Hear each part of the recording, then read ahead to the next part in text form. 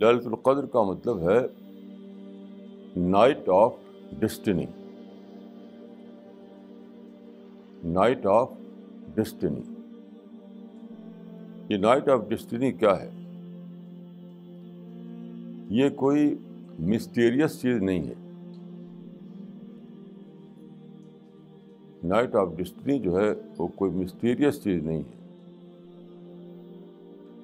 ये एक ऐसी चीज़ है जिसको आप सोच कर जान सकते हैं। और ये एक रात की बात भी नहीं है, ये पूरे महीने की बात है। यह जो रमज़ान का महीना है,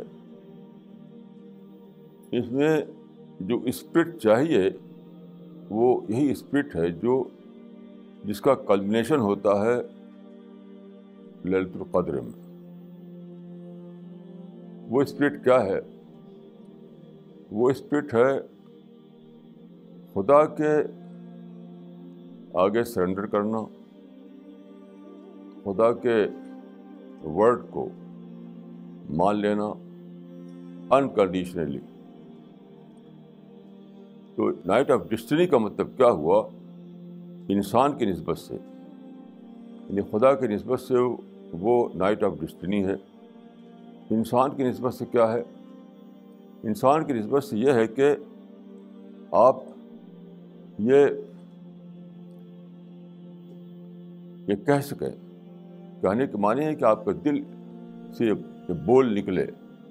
ओ God, I accept with all my heart and soul.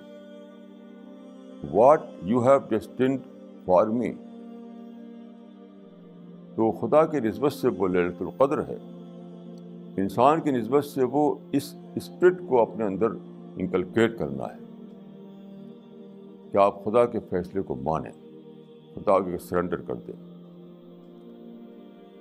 यही जिस्ट है इस्लाम का। यही जिस्ट है कुरान के मैसेज का। यही जिस्ट है इंसान के सालवेशन का। तो यह है समझता हूँ कि रमज़ान के महीने का खुलासा। इसी खुलासे का कल्मिनेशन होता है, जिसको कहते हैं हम शब कदर या ललतुल्क़द्र या नाइट ऑफ़ डिस्टनी। कि खुदा के फ़ैसले पर राज़ी हो जाना, सरेंडर कर देना।